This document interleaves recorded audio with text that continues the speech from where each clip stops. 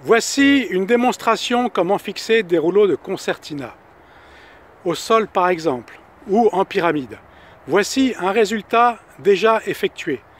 Maintenant, prenons pas à pas comment procéder. Nous prenons un rouleau.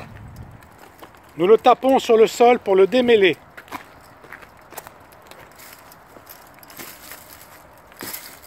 De façon à libérer les spires les unes des autres au maximum.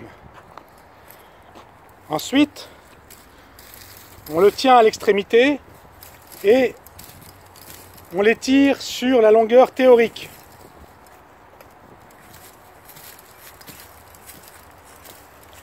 Une fois qu'on a obtenu la longueur désirée, qui va déterminer la densité de protection et de sécurisation, on regarde bien à démêler les spires qui restent emmêlées entre elles.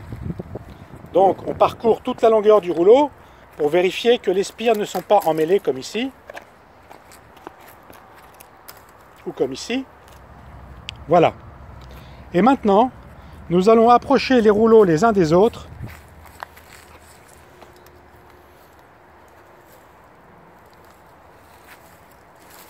de façon à ce que les deux rouleaux soient tangentiels.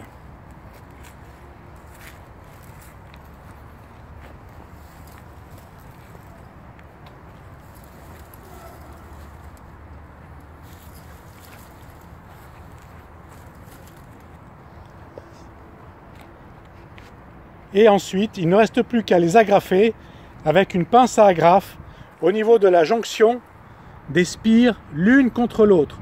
Et de préférence au niveau des agrafes de liaison des spires de concertina comme ici. Ou comme ici.